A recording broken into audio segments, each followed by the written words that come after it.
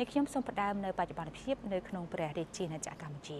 បទពិសោធន៍ថ្មីនៃការវិនិយោគលើចំណេះដឹងប្រសើរជាងវិនិយោគលើលុយអង្គញាវិជ្ជបណ្ឌិតគួចមេងលីដែលជាអ្នកជំនាញល្បីល្បាញមួយរូបនៅក្នុងវិស័យអប់រំនិងសុខាភិបាលកម្ពុជាបានបោះពុម្ពផ្សាយសៀវភៅថ្មីមួយក្បាលទៀតហើយដែលមានចំណងជើងថាកំណត់រកស៊ីគួចមេងលី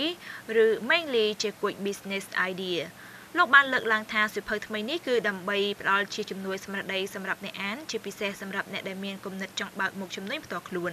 នៅក្នុងសិភៅដែលមានកម្រាស់346ទំព័រប្រមូលផ្ដុំទៅដោយគំនិតនិងយោបល់ល្អៗជាច្រើនដោយប្រធានក្រុមប្រឹក្សាពិបាលនៃក្រុមហ៊ុន MJQ Education រូបនេះបានលើកឡើងអំពីគំនិតល្អៗចំនួន43ចំណុចមករៀបរាប់នៅក្នុងសិភៅនេះដើម្បីចែករំលែកនៅបទពិសោធន៍ដែលបានជួបប្រទះមុននឹងជំនួយរបស់លោកញ៉ាជោគជ័យមកដល់សប្តាហ៍ថ្ងៃនេះថ្លែងនៅក្នុងកម្មវិធីសន្និសីទសារព័ត៌មានស្ដីអំពីការប្រកាសផ្សព្វផ្សាយសៀវភៅនេះលោកអង្គញាវិជ្ជបណ្ឌិតគួចមេងលីបានបន្ថែមថាការរកស៊ីមិនត្រូវធ្វើឡើងដោយប្រតិប្រថាននោះទេ ការវិនិយោគលើចំណេះដឹងគឺប្រសើរជាងវិនិយោគលើលុយ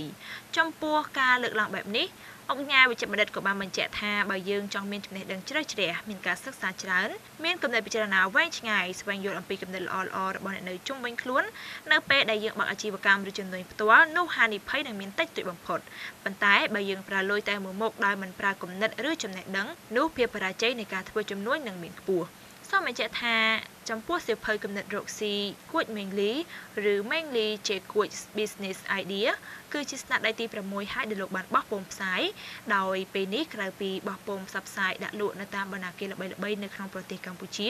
ស្នាដៃសៀវភៅរបស់លោកក៏ត្រូវបានអនុញ្ញាតដាក់លក់នៅលើកម្មវិធីបែបអន្តរជាតិមួយផងដែរដើម្បីចែករំលែកនៅគំនិតល្អៗទាំងនេះដល់ប្រជាប្រដ្ឋខ្មែរដែលរស់នៅតាមបណ្ដាប្រទេសនានាលើពិភពលោកឲ្យបានអានគ្រប់គ្រប់គ្នា